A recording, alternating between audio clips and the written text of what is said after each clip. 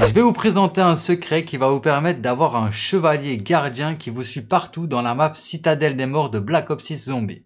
Alors pour réaliser ce secret, vous allez devoir trouver un cavalier qui est une pièce d'échiquier. Donc ce cavalier, je connais trois emplacements. C'est possible qu'il y en ait plus. Si j'apprends qu'il y a plus d'emplacements, j'essayerai de mettre les emplacements supplémentaires en commentaire et en description.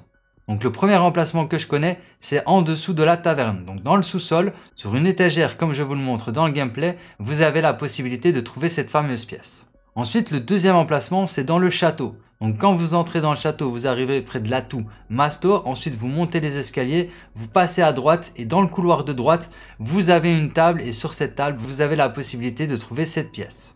Le troisième emplacement, c'est avant de rentrer dans le château, donc dans les remparts à gauche, près de l'atout pop élémentaire, en face il y a une table et sur cette table, vous avez la possibilité de trouver cette pièce. Donc dans le gameplay, on peut justement voir que je trouve la pièce en question.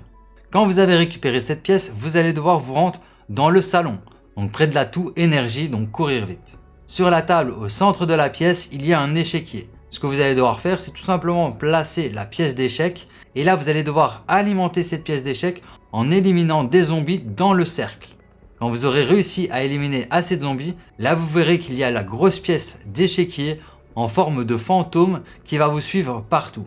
Alors il faut savoir que je la trouve complètement inutile parce qu'elle ne sert pas à grand chose. Elle ne vous réanimera pas et elle ne tuera pas les zombies. Elles les paralyseront simplement et les fera tomber par terre. Après c'est possible qu'elle tue les zombies mais uniquement s'il leur reste très peu de vie.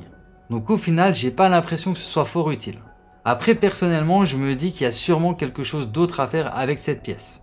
Parce que sinon je vois vraiment pas à quoi elle pourrait servir d'autre à part nous suivre comme un petit chien et faire tomber les zombies.